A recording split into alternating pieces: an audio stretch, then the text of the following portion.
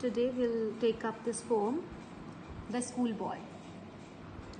And um, I have prepared here a summary of this poem.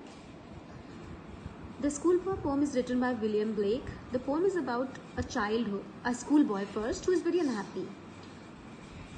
He says that his childhood is crumpled for the sake of learning and teaching. The boy likes mornings, trees, birds, he loves being in nature. However, due to his school, his mornings are unpleasant and unhappy. He does not like going to school and is not interested in his study, studies and books. The poet further advises the parents to not deprive the child of joy and freedom that he deserves to have. In case we have unhappy children, our world will be full of sorrow. We'll never be able to experience joys.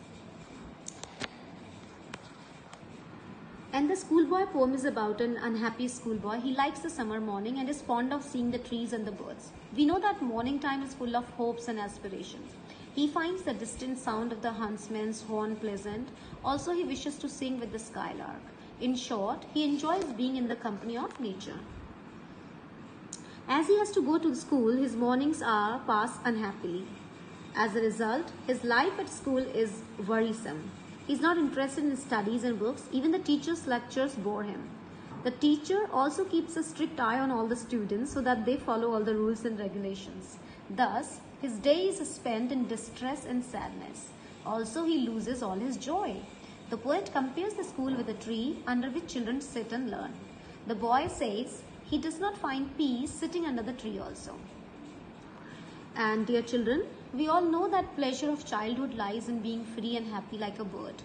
And the poet here compares a child in a school as a bird in cage. So it's a comparison here.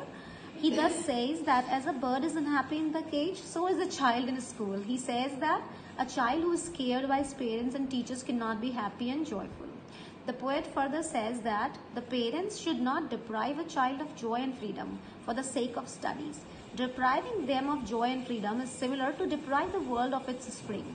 The poet also compares it with nipping the birds and flowers from the plants. And he is of the opinion that this world will be a sorrowful place in the absence of a happy childhood. The poet beautifully compares it with nature. He says that without a happy childhood, we shall only have a winter of sorrow. We shall never be able to experience the summer of joy.